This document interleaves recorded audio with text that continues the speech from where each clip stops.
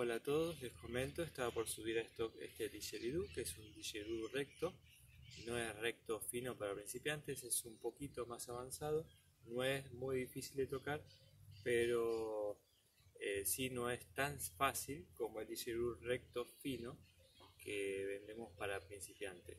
Este tiene de 10 a 15 centímetros aproximadamente de diámetro y es un poquitito más alto.